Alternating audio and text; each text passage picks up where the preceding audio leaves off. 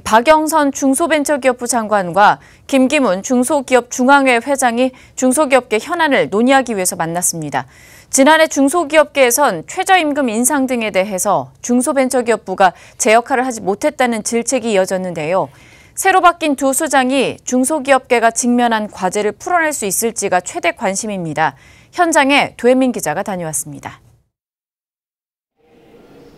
네, 서울 여의도 중소기업 중앙회에서 박영선 장관과 중소기업계 간 현안 토론이 진행됐습니다. 지난 8일 취임한 박영선 장관과 지난 2월 임기를 시작한 김기문 중소기업 중앙회장, 올해 새롭게 중소기업계를 책임지게 된 두 사람이 현안을 놓고 만난 건 이번이 처음인데요.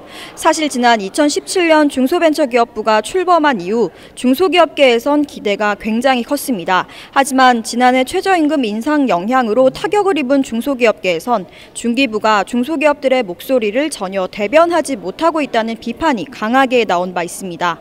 이런 가운데 박영선 장관이 의원 시절 강력한 업무 추진 능력을 보여줬고 장관 취임 초 허니문 기간인 만큼 중소기업계에선 박 장관에게 기대가 큰 모습입니다. 김기문 회장도 중소벤처기업부가 이제는 중소기업계 대변인으로서 역할을 해야 한다고 말했습니다. 중소기업계가 현장에서 하는 얘기를 들어보면 권익 대변 역할이 미흡했다.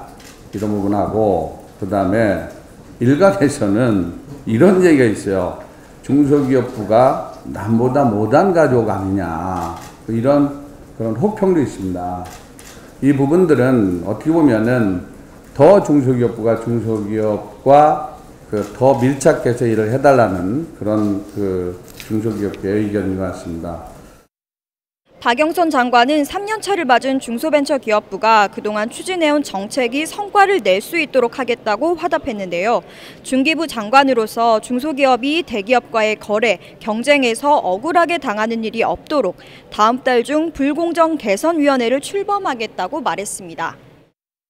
공정한 경제가 구현될 수 있도록 어, 다음 달 중에 이 불공정 개선 위원회를 만들어서 어, 앞으로 여기에서 어, 뭔가 좀 더 중재 역할을 통해서 억울한 일이 없도록 하는 일 이것을 어, 저는 우선 과제로 어, 첫째 꼽고 있습니다. 본격적인 토론에 들어가선 기업 승계에 대한 세제, 최저임금, 그리고 탄력적 근로시간 제도 등 중소기업계 주요 현안들이 논의됐습니다. 구체적으로 최저임금을 업종별, 규모별로 구분 적용하도록 하고 탄력적 근로시간제는 노사가 합의할 경우 3개월로 규정한 단위 시간을 1년으로 늘려야 한다는 요청이 있었습니다. 이어지는 중소기업 중앙회 회장단의 건의 사항에 대해 박영선 장관은 긍정적인 답변만 반복하진 않았습니다.